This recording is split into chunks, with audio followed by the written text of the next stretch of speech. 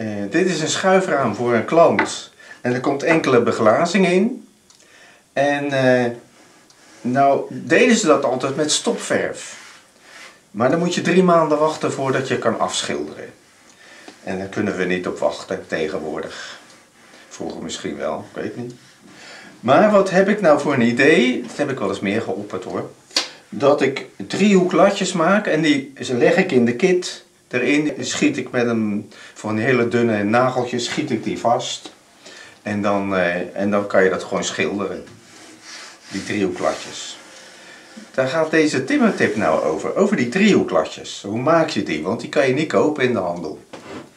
En uh, nou had ik dat altijd het idee, idee om dat met de cirkelzaag te doen. Dat kan ook heel goed. Maar nou heb ik ook een ander idee.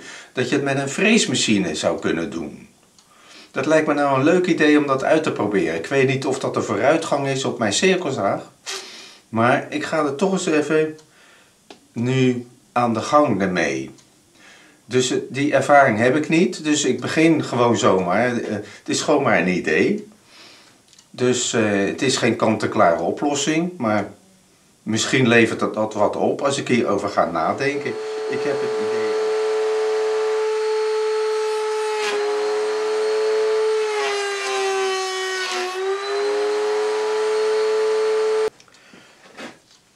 Er ging iets mis. Ik moet hem.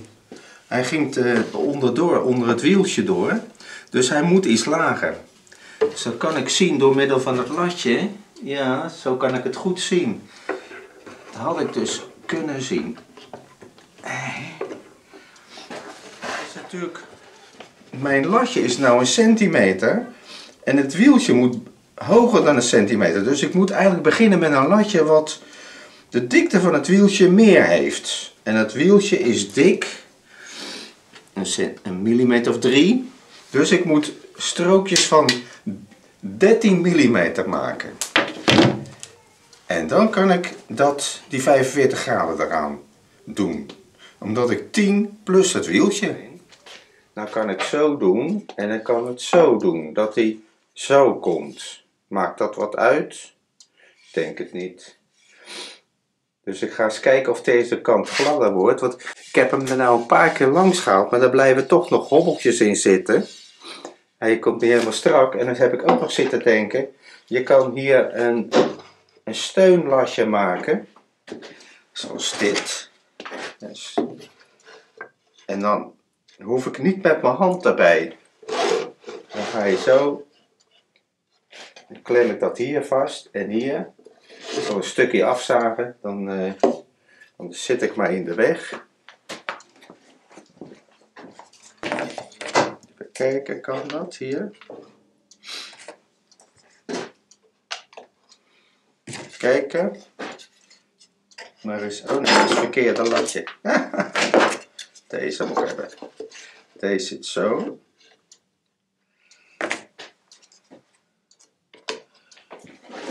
Dit zit zo. Zo. Nou, gaan we eens kijken of dat... Nou, stap ik iedere keer over mijn snoer heen. Die hangt hier. En als ik dat snoer nou hier even in doe...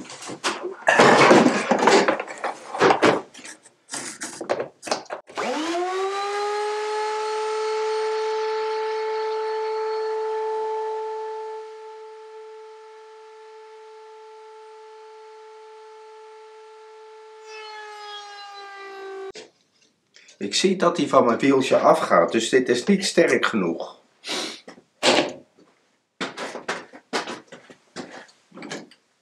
Zo. Andersom. Misschien nog beter. Zo, ja. Ik heb hier twee dingen geleerd. Dat ik een recht kantje hier als aanslag moet hebben, dus ik kan niet zo gaan dat ik dit doe. Dat zit dat schuine kantje. Of ik moet een hogere aanslag maken. Maar dat had ik niet. Dus ik ga zo. En ik zie nog dat het allemaal hobbels geeft. Dus ik zou er nog een keer doorheen moeten halen. Om te kijken of die gladder wordt. En als ik dit nou doordoe. Kijk, het voordeel was in het begin dat ik gewoon helemaal in het begin kan beginnen. Dat kon ik uit de hand niet. Dus dat heeft een voordeel met die geleider. En nou heb ik hier dit kan nog een beetje strakker. Zo, dat hoef ik maar met één lijmklem te veranderen. En dan zit hij strak tegen het wieltje. Maar hij kan nog omhoog. Dat wil ik ook niet. Ik wil hem neerdrukken. Hoe doe je dat? Ik moet hier iets fabriceren dat dat lasje hier omlaag. Ik kan dus een, een lasje maken met een hoek erin die zo hoogte is van dit. En die klem ik hier dan vast. En dat kan niet, want ik zit hier aan een dichte kant. Hoe doe je dat? Moet je erop schroeven. Dat kan ook. Of ik moet het hier vandaan doen. Dan kan het ook hier vandaan doen. Dat lasje hier klemmen.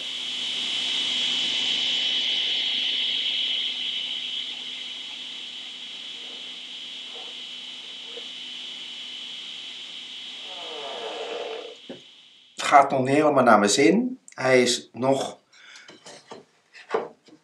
te ruim. Dit zit dus ruim, dus dat moet strakker worden. Dus ik ga hier... eh, En ik wilde hier ook nog één hebben, daarvoor en daarna. Dus eigenlijk zou ik een breed plankje moeten hebben, maar ik maak het met deze ook nog een eentje hier.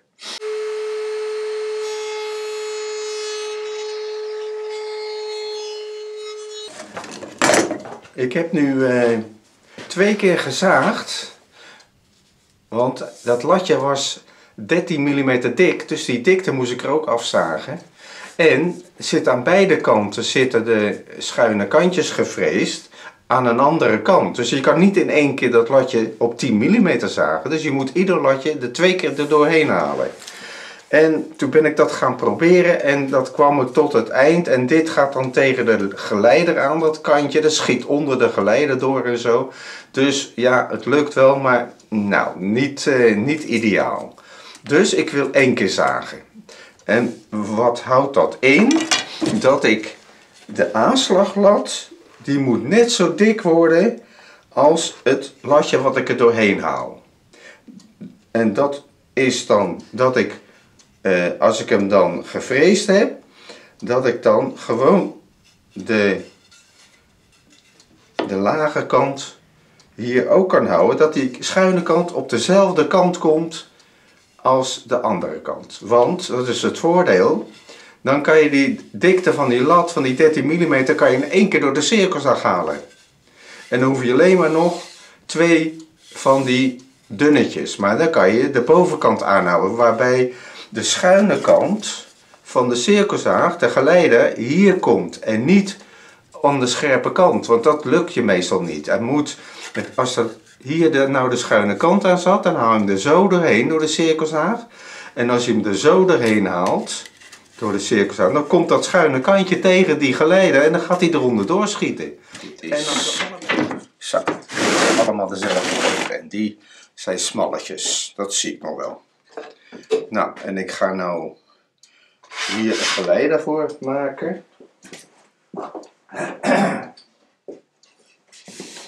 Nou, dan heb ik. Oh nee, er moet ook 13 mm worden. En, maar daar wil ik wel een brede voor gebruiken.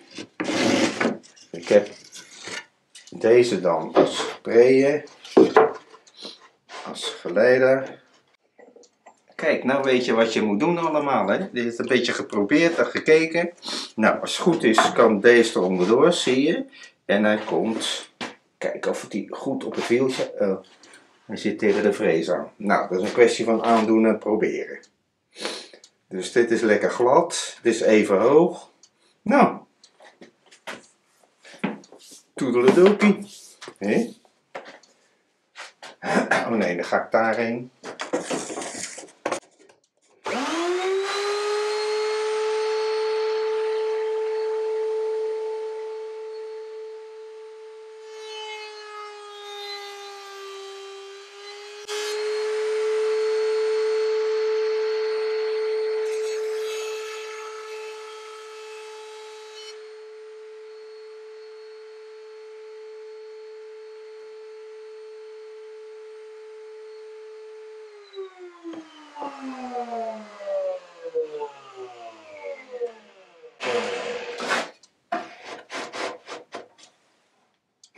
Wordt een beetje strak. Dan moet ik deze even een beetje los. En dan een klein beetje omtrekken. Doet hij dat niet? Kijk. En nu? Ja, zo moet hij goed zijn. Kleine aanpassing.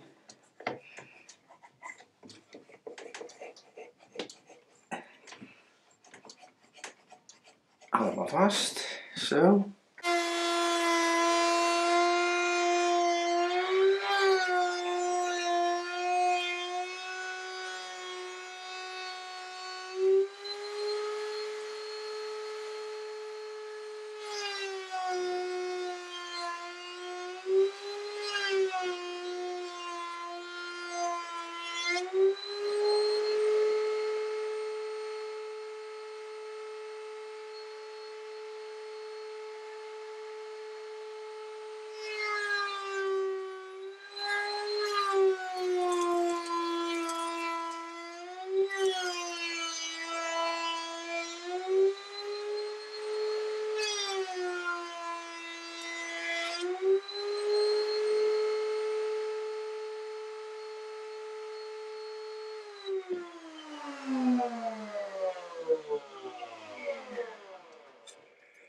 Kijk, nou zitten allebei de kanten dat. En dan kan ik met de cirkelzaag zo doorzagen.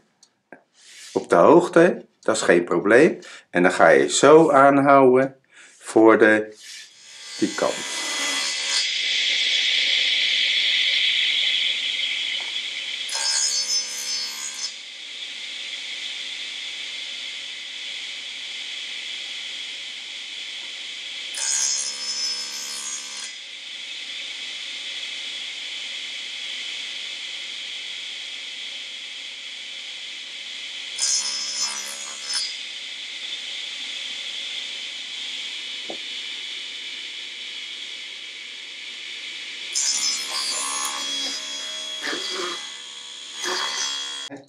Nu gaan we dit doen. Maar dat doen we dan met de kant omhoog. Dat hij goed tegen de geleider loopt. Zo. Dan ga ik eens even uitzoeken of dit latje niet te klein is. En anders moet ik met de dikte ietsje ruimte geven. Kijk, dit latje is al 10 dik. Maar je kan natuurlijk ook een randje erbij geven, dan wordt hij net iets hoger. Dan ga ik met mijn raam uitzoeken of dat glas, of dit niet in het niet verdwijnt. Want je kan er nauwelijks een spijkertje inslaan. Nee, het moet echt iets dikker worden. Ik ga even toch opnieuw beginnen met vrees uh, instelling, dat ik hoger kan maken.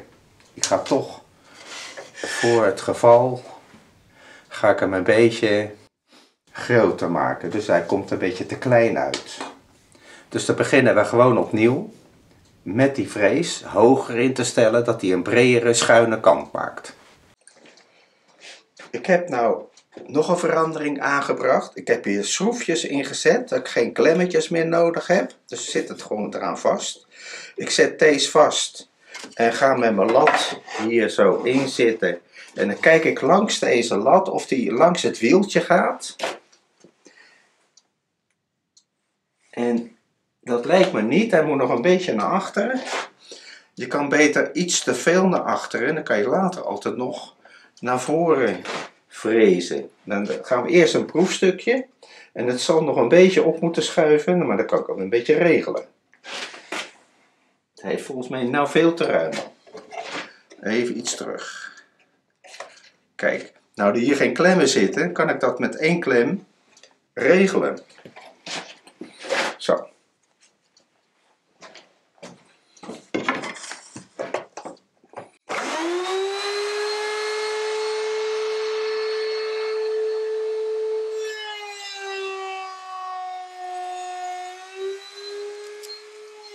Nou is mijn kantje iets groter.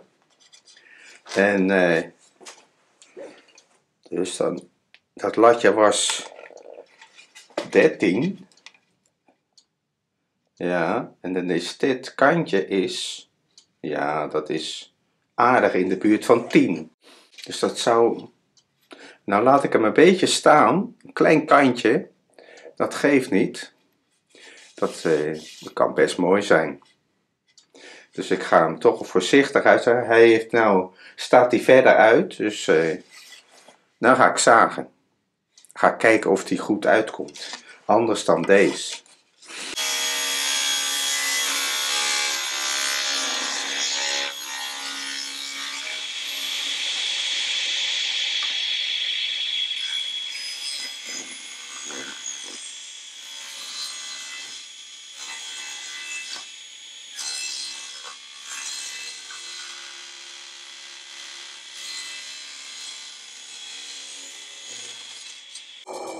Kijk, die tweede lat is, uh, is flink wat groter. Ik denk, denk, dat dat wel goed gaat.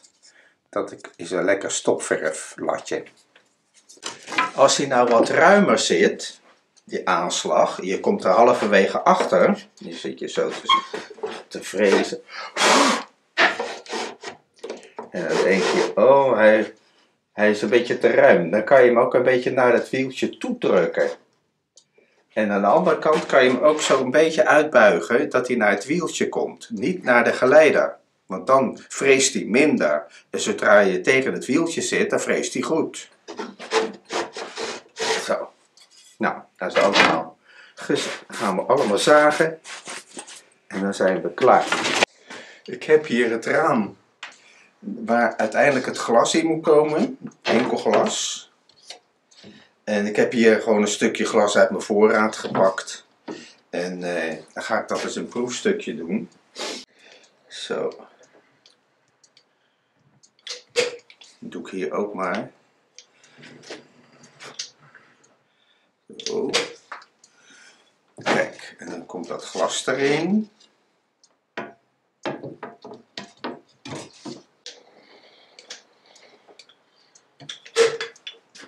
En dat doe ik hier op de kant ook. Op het glas en op het hout. Zo. En als je dat dan nou zo vanuit het midden naar erin drukt, dan komt die vol in de kit.